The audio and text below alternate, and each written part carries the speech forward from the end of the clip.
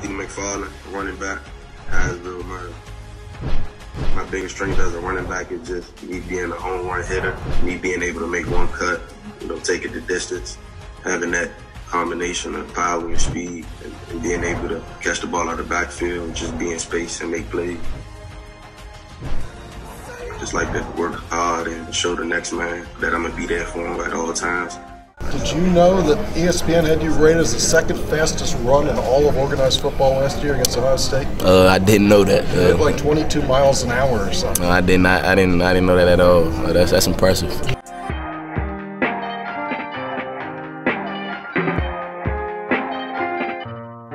Let's go. We see the hype outside, right from the house. Uh, took it straight from outside, straight to the couch. We put the mic outside, edit shit out. You letting the scouts outside.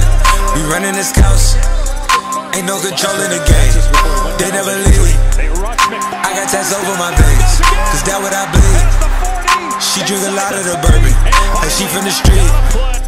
We got control of the flows in her. We heard that your wave went dry. We flooding the drought. Heard that your hood outside. We added some routes. We having the goods outside.